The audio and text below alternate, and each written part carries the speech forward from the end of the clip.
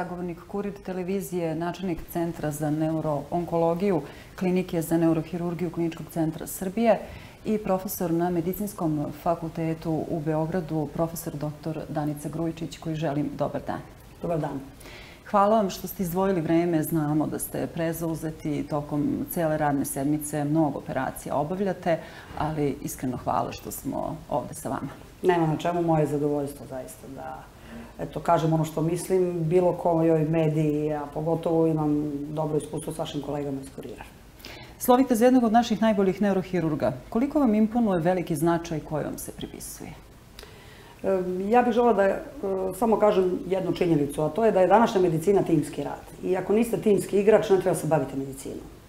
E, mi, neurohiruzi, obavimo jedan deo posla. Bilo da se radi o bolestima krvnih sudova, tumora, diskus, hernija, degenerativnih bolesti kičme, povreda perifernih nerava, bez dobre anestezije, bez dobrih radiologa, bez dobrih radioterapeuta, bez medikalnih onkologa, internista, bez pedijatara, bez fizijatara, kao naših najbližih prijatelja i pomagača, mi ne bismo imali rezultate koje imamo. Tako da, e, kada kažu jedan od najboljih neurohirurga, pa dobro, eto, meni je drago da mi posao ide od ruke, za koji sam se opredelila i u kome saista nalazim zadovoljstvo, ali današnja medicina, bilo koja njena oblast je timski rad i ja sam vrlo ponosna na ljude sa kojima radim, zato što su zaista izvrsni, svako od njih.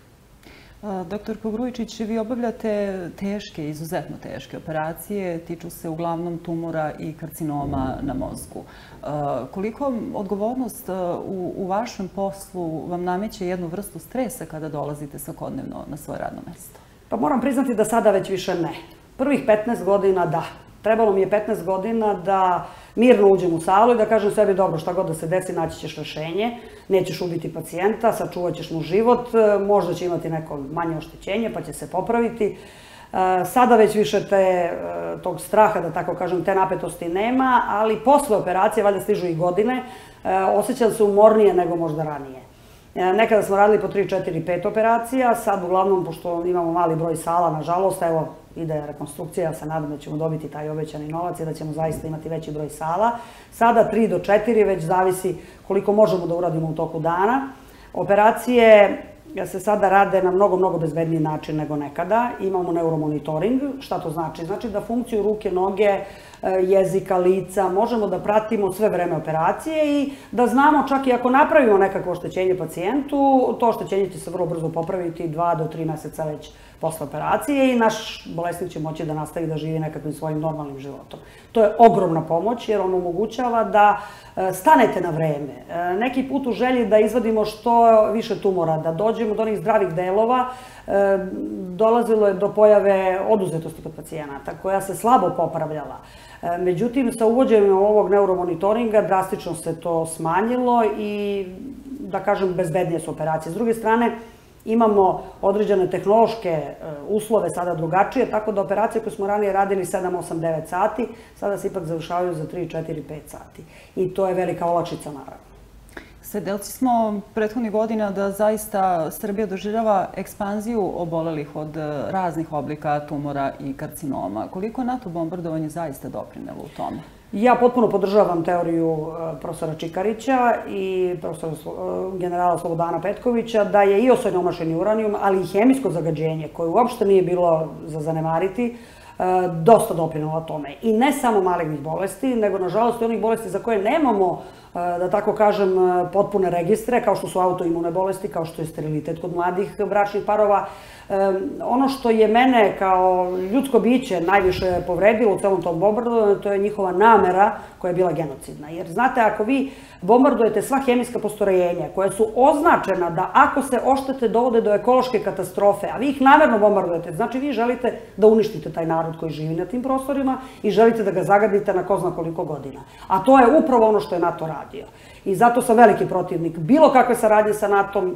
Mrzim da vidim, moram priznati, NATO oficire u Srbiji. Neka oni sede tamo kod sebe kući, ovde nemaju šta da nam pokažu i da nas nauče. Vi ste jedan od redkih stručnjaka koji otvoreno govori o svim problemima sa kojima se suočava ne samo zdravstvo, već i društvo u kojem živimo. Kažu vaše kolege, nema dlake na jeziku. Pa nikad nisam imala. Ja moram priznati da sam i kao mlada govorila ono što mislim. To je zahtevalo do duše da mnogo više radite nego možda neko ko je malo čutao, jer možda su i, verovatno nisam uvek bila ni ja u pravu, ali sam uvek branila svoje mišljenje. I samo taj rad koji je zaista bio od početka, da kažem, toliko zastupljen da radite do 11-12 uveče, do 3 ujutru, da e, subotom, nedeljom e, nemate vikend, da praznicima nemate praznike. E, mislim da su mi zbog svega toga i starije kolege malo gledale možda i kroz prste iako se nekada nisu slagale sa onim što sam govorila, ali imala sam sreću da e, budem učenik e, divnih profesora, zaista jedne gospode, jedne čitave generacije e, profesora koji su, da kažem, mnogo uložili u mene i ne samo u mene, u celu moju generaciju i koji su nas zaista naučili da budemo ne samo dobri lekari, nego i dobri ljudi i da snosimo odgovornost za ono što radimo. Vi često javno izražavate bojazan da jednog dana u Srbiji neće biti lekara da nas leče, baš zato što mladi odlaze iz naše zemlje upravo dakle zbog tih uh, zbog odliva mozgova. A šta misle, šta, šta je problem? Šta je pa mislim da je problem prvo ovaj, to ograničavanje zaposla, zaposlenja, to je jedan razlog. S druge strane, mislim da nije napravljena dobra preraspodela zdravstvenih radnika po Srbiji, jer imate mesta na kojima imate mnogo naroda, a mali je prostor, imate e, određene teritorije gde nema toliko mnogo naroda, ali ima jako velikog prostora, tako da vama treba vreme da dođete do svog pacijenta. S druge strane, to je ovo e, stranačko zapošljavanje, mada ja ne mogu da kažem da imam loše iskustvo kod nas na klinici i u kliničkom centru, raspisuju se konkursi, to je činjenica. I naravno da prednost imaju ona deca koja su već volontirala kod nas. E, zašto? Pa iz prostog razloga što su se pokazali da imaju talenta. Obično onaj ko nema talenta, on posle određene nekoliko meseci napusti neurohirurgiju, a ove koji imaju, eto i mi ih na neki način zadržavamo, obećavamo da ćemo učiniti sve da im pomognemo da se zapošljavaju. Međutim, e, tu postoji još jedna velika nepravda. E, ne mogu sva deca sebi da priušte da volontiraju, da rade dve, tri ili četiri godine besplatno, jer jednostavno njihovi roditelji nisu u poziciji da ih izdržavaju sve to vreme. I vi verovatno u celoj toj e, grupaciji mladih ljudi gubite vrlo talentovane, vrlo sposobne ljude koji onda u nemogućnosti da materijalno stagniraju, moraju da idu u inostranstvo i da traže posao. E, s druge strane, ako je tačno da školovanje jednog lekara košta 50.000 evra i više, vi zapravo bogatu Nemačku i bogate zapadne zemlje e, snadbevate gotovim lekarima, što mislim da je užasna tragedija. I ne samo lekarima. E, mladi su nezadovoljni, ne mislim samo toliko zbog plate. Znate, kad bi e, sada neko rekao u redu sad ćemo svi imati recimo 30.000 dinara platu, ali za pet godina će biti super.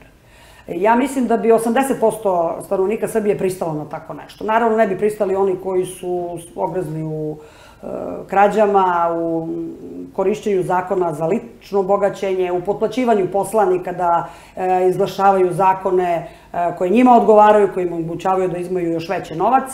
I pogotovo govorimo o tim našim podnavodnicima sposobnim ljudima koji su se obogatili upravo zahvaljujući vezano sa političarima, ne zato što su imali dovoljno poslovnog sluha. Meni je samo žao što e, čitavu tu jednu grupaciju ljudi, e, naših ljudi, koji su napravili finansijske imperije, ali ne tako što su bili vezani za političare, nego tako što su imali dovoljno sluha, imali su osjećaj za biznis, e, mi svrstavamo istu kategoriju sa ovima koji su se, da kažem, šlitali političarima i sa njima domunđavali, plaćali ih ili ih ne plaćali i kojima su ovi vraćali kasnije usluge.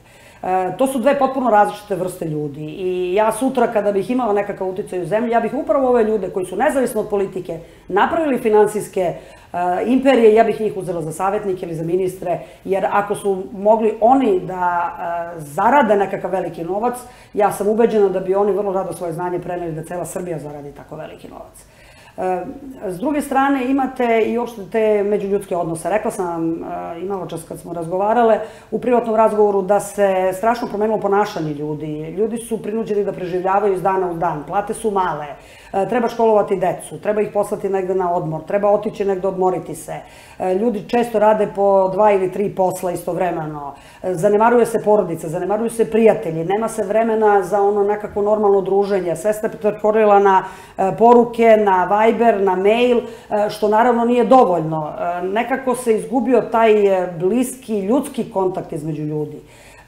Kad uđete u autobus danas svi ćute ili pišu SMS-ove, ranije neko ispriča vic pa se smeje ceo autobus, udaljili smo se strašno i e, generalno narod je neraspoložen. Na radnim mestima uvek imate nekoga ko misli da ja treba da maltretira ostali. Još ako neki političar stoji iza njega, onda je to strašno, međuljudski odnosi su se pokvarili. Znači, nije dovoljno da znate svoj posao, ja ne govorim sada o sebi, ja nemam taj problem, zaista. I masa mojih kolega nema. Ali u masi preduzeća, e, posebno ovih javnih preduzeća, imate ljude koje je postavio nekakav tamo političar ili nekakav predsednik partije ili član partije i koji smatraju da mogu drugima da tretiraju.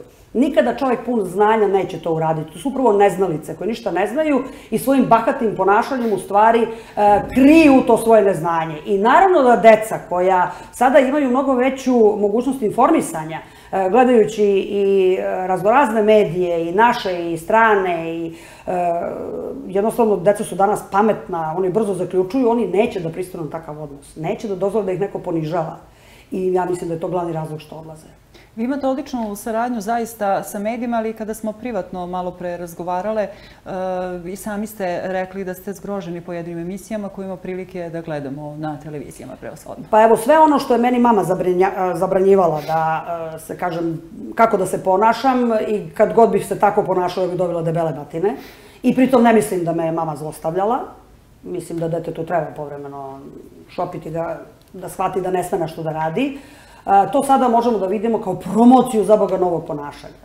E, prostakluke, e, divljačko ponašanje, odsustvo poštovanja žene. E, ono što mene u celoj toj situaciji kod ovih naših realitija nervira, to je kako se zapravo žene ponašaju.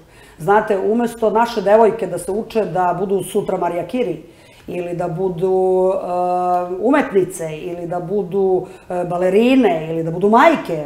To treba da bude zaista izvor svake žene, ili da budu sve to zajedno, mi se zadovoljavamo nekakvim starletama. Ja sad zaista ne bih žela da koristim druge izraze, ali meni nije dan danas jasan pojam šta znači profesija starlete.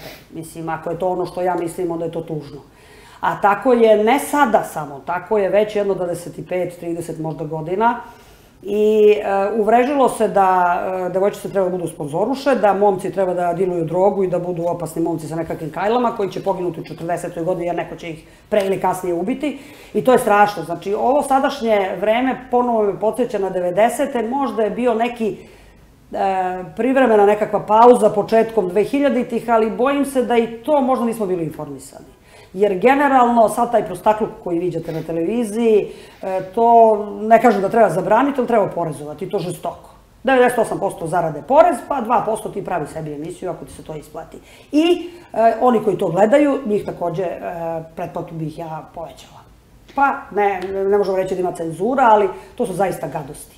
I onda deca, roditelj im kaže jedno, deca u školi vide drugo, na televiziji treće, i deca su zbunjena, i roditelji su zbunjeni, I pored svega toga, mladi su fenomenalni, verujte mi. Ja gledam po studentima medicine, jesu to deca koje su bile i dobri škoralci i sve ostalo, ali u ovim kontaktima sa mladima i na tribinama, e, pa ima tu deca koje nisu nešto briljantni džaci bili i tako dalje, ali su vaspitani. To je prosto da se zapitate kako tako vaspitana deca, pored svih ovog šunda i ovog užasa. I, e, znači, imamo potencijal, treba se potruditi oko te dece. Treba se potruditi, e, jednostavno, nekakva pravila ponašanja promeniti i te partije, kad bi mogle da se ukinu, to bi bilo najbolje. Vi nemate samo odnos na medicinskom e, fakultetu prema vašim studentima e, u, u smislu profesor-student, već imate i taj neki majčinski pristup, pun ljubavi. Da li studenti imaju potrebu da dođu, da vam se požele na neki svoj lični problem? Pa kad je u pitanju katedra hirurgije, da, pošto sam ja sad trenutno šef katedre hirurgije, ali ono što na predavanjima pokušam da im e, objasnim, da im skrenem pažnju, to je upravo ono šta ih sve može desiti u praksi. I najčešće predavanja držim tako što kada pričam o jednom temi, obično pričam slučajeve iz prakse i koji su se dobro završili i koji se nisu dobro završili i učim ih kako sutra da zaštite sebe. Postupajući po medicinskim protokolima, držeći se medicine, tako će najbolje čuvati i pacijenta i sebe.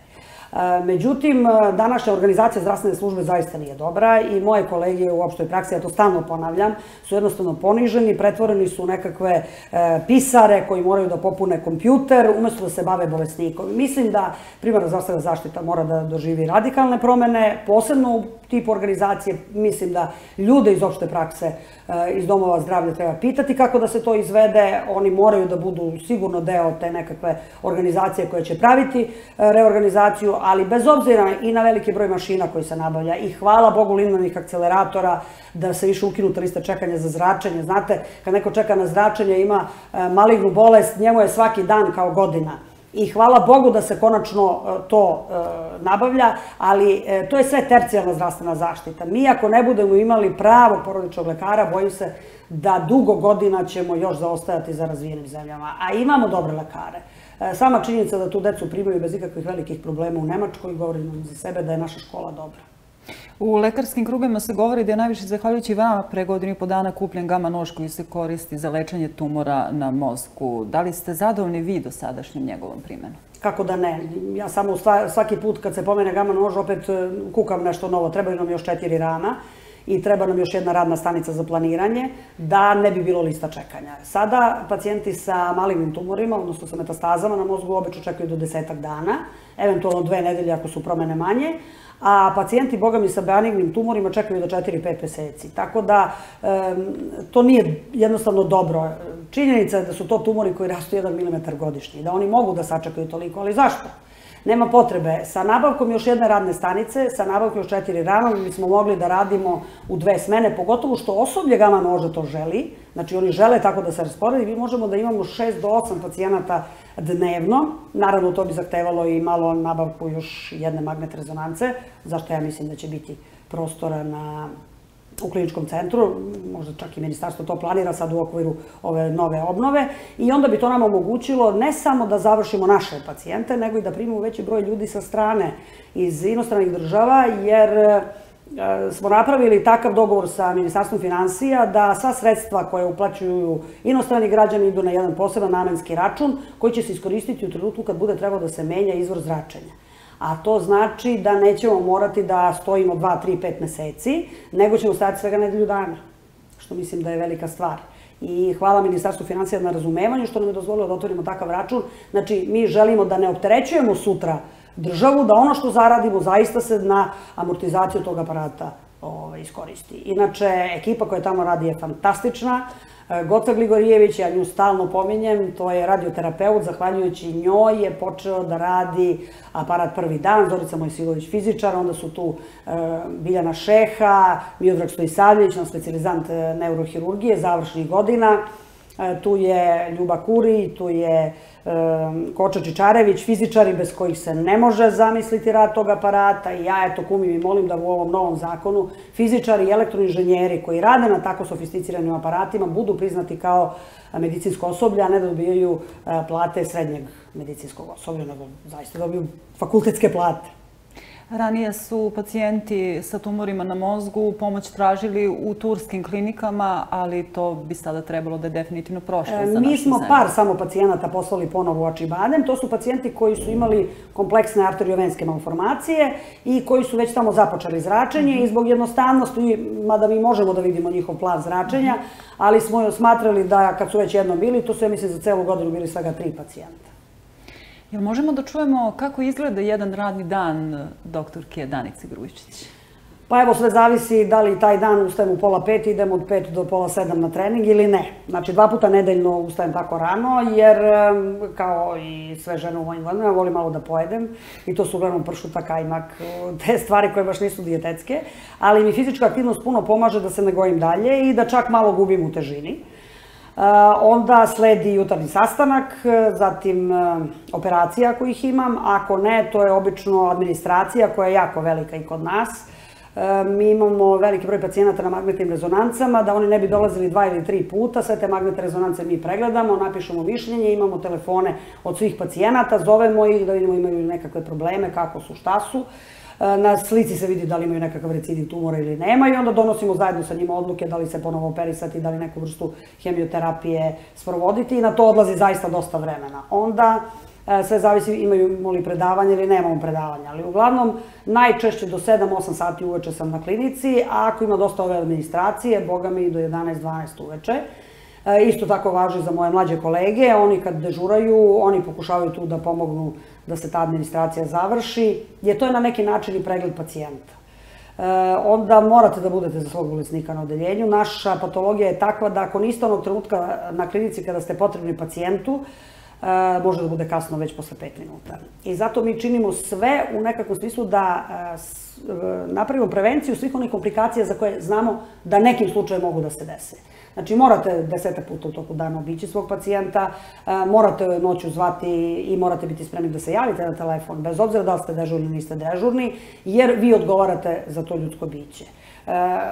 Ljudi koji imaju decu, da, tu je bračni drug koji će pogledati decu, a nema ko da pogleda tvog pacijenta. Mislim, dežurni lekar će intervenisati u sekundi, ali ti dolažiš da završiš ono što ti misliš da treba da se završi. Tako da jeste istrpljujući posao, istovremeno i lep. Jer u našem poslu, kad neko preživi, kad živi svojim normalnim životom, kad vas neko dete koje ste operisali posle 20 godina zove na svadbu, e, to su onda lepi trenuci. Zaista i to, to se ne može platiti novce. I ne pada vam teško što deo posla odnosite sa sobom kući?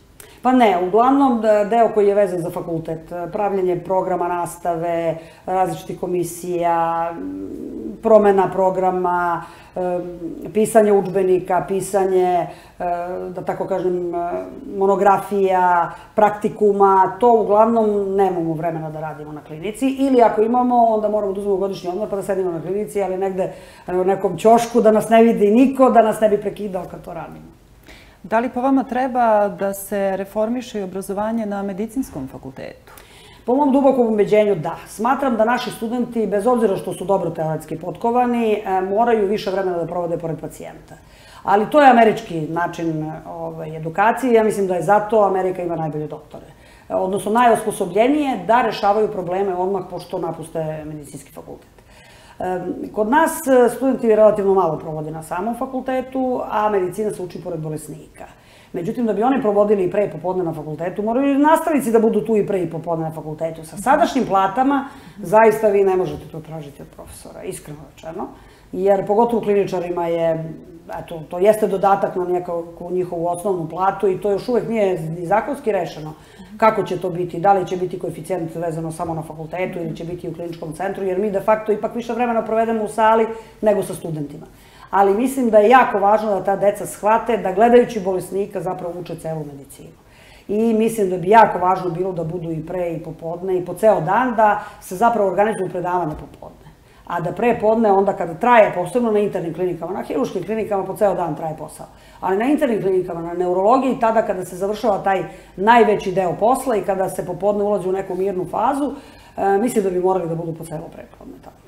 U sve obaveze koje imate i kao hirurg i kao doktor i kao profesor, e, stižete da budete i aktivni na društvenim mrežama. E, odakle potreba da se obraćate direktno javnosti tim putem?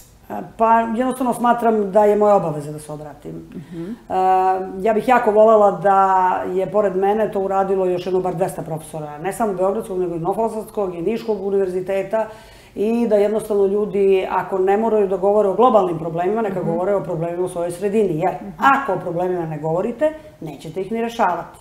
I naravno nisam samo zato da se neko proziva zbog tih problema. Mm -hmm. Situacija je takva kakva je. Mislim, treba čuti Gorana Sultanovića i Disovu pesmu Naši dan iz 1910. Mm -hmm. godine. Znači, potpuno možete sve da prenesete na današnji trenutak. To je naša stvarnost. E sad, kako iz stvarnosti izaći? Definišem problem i ponudim rešenje. E, postoje nekakve pojave u društvu koje jednostavno ne smete da zanemarite. Ni kao žena, ni kao čovek, ni kao građanin, ni kao profesor kao što je bilo šamaranje profesorke. Da, ja, vi ste se među prvima oglasili. Pa mislim, to je, mislim da je to dokaz da smo zaista dotakli dno. Sada, sad je pitanje imamo li snage da se odrazimo od tog dna i da krenemo dalje. Ali ponašanje direktora obe škole, recimo, isto tako bilo dopustivo, da puste jednog takvog e, momka koji me očito treba psihijatar, e, da dobije ispisnicu iz jedne i da se upiše u drugu školu, ja bih i te direktore zamenila, smenila bih odmah. Tatu bih isto poslala na psihijatrijsko veštačenje, iz prostog razloga što je takav način ponašanja dečko video u svojoj porodici.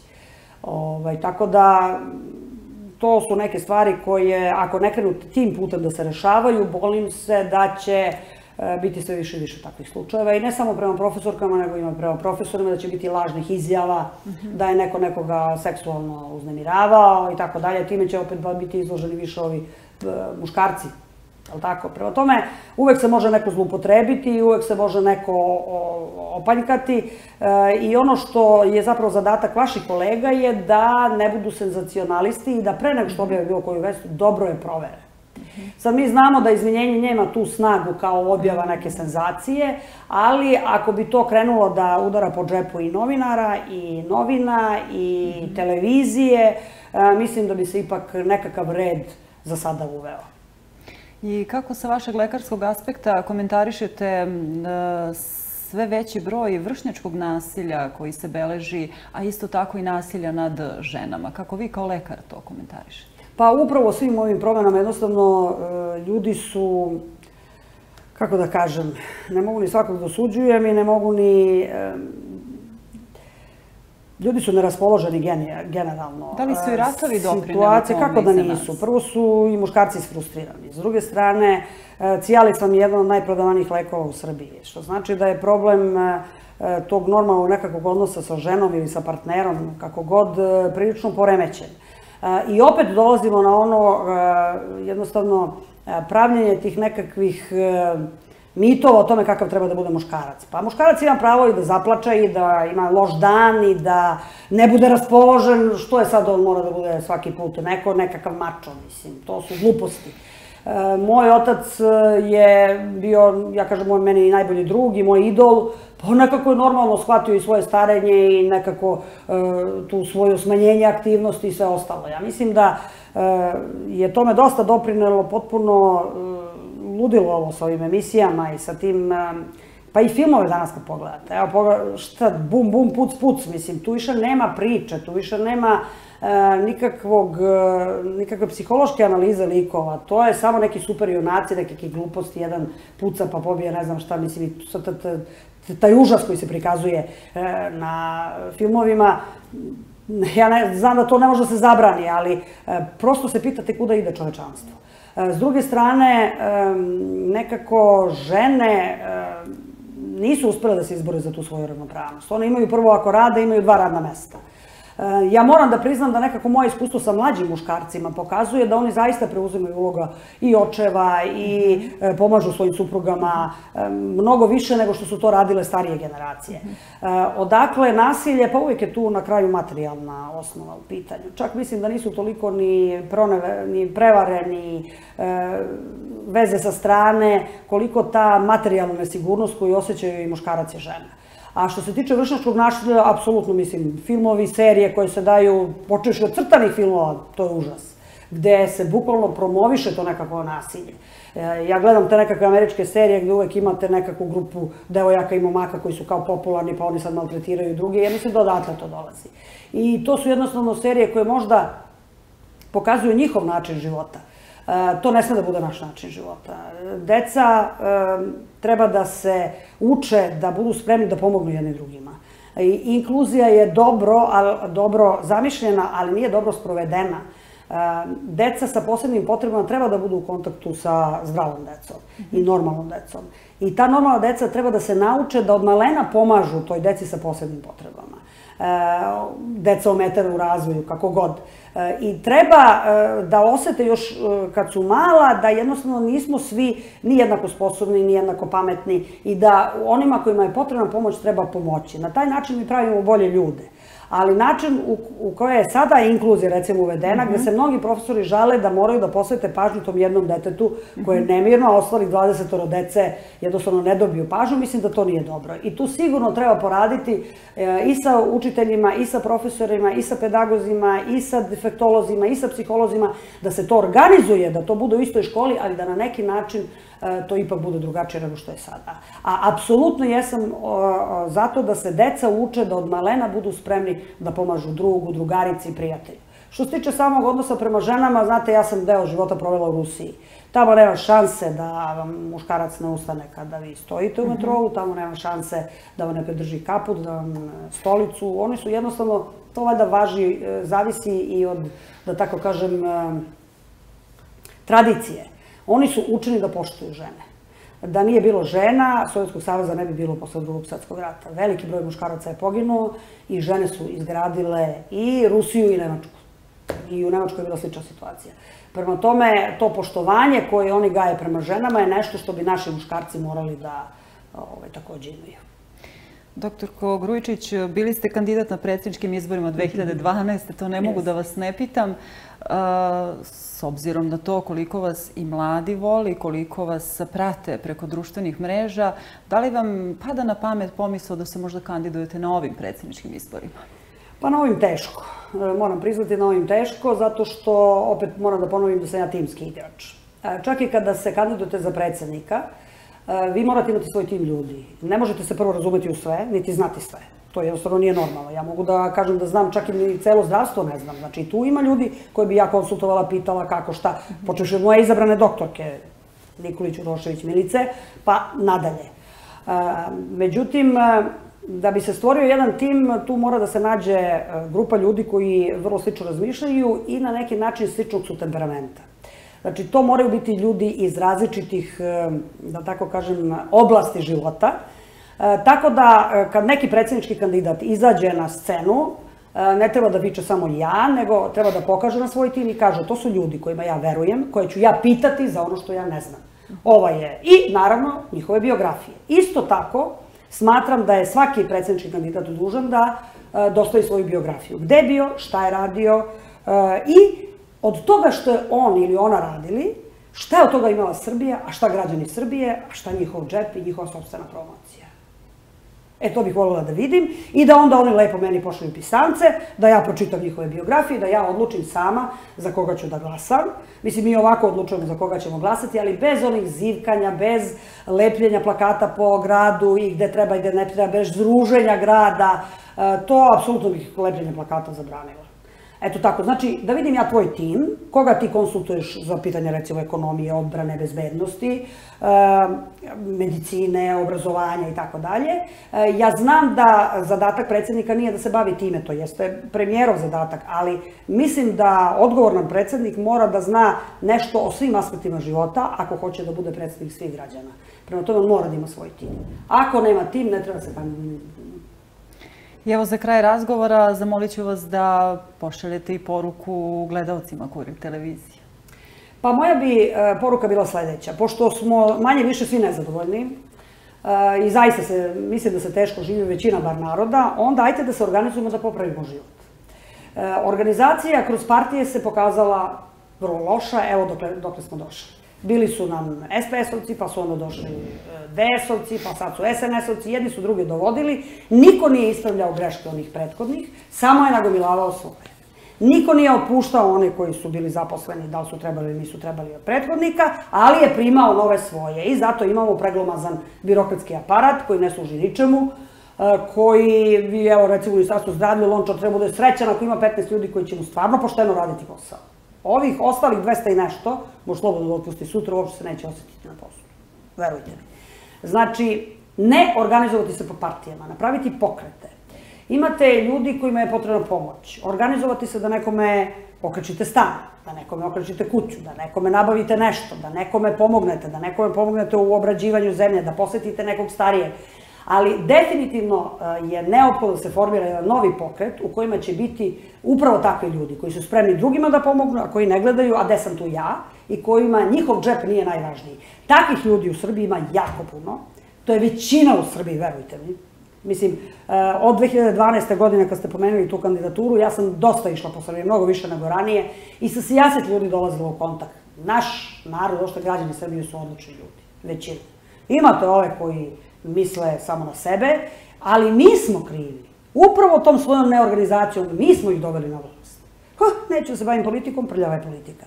E pa onda pusti, dopusti svim moronima da se bave politikom i da ti vode zemlju u sunovrat. Jer hoćeš da vratiš zemlju tamo gde treba da bude, jer hoćemo od Srbije da napravimo nešto slično Švajcarskoj, e onda, gospodo, morate da se organizujete. Eto, to je moja poruka, posebno mladima. Deco, organizujte se, napravite svoj pokret, definišite svoje ciljeve, i boriti se za te svoje ciljeve. I ostanite u svojoj zemlji. Naravno. Hvala načelniku Centra za neuroonkologiju, Klinike za neurohirurgiju Kliničkog centra Srbije, profesoru doktoru Danici Grujičić na još jednom otvorenom intervju za Kurir televiziju.